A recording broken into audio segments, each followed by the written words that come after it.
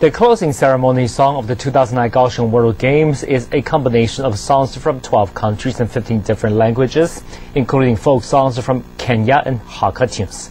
It will for sure be an interesting melting pot of music styles.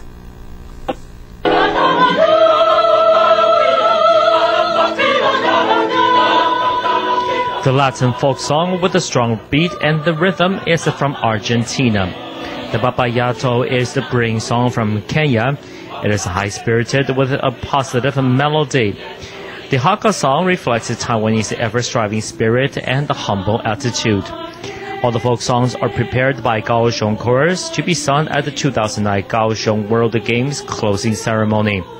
In order to show that there's no boundary within the world of sports, songs from 12 countries of 15 different languages will be performed.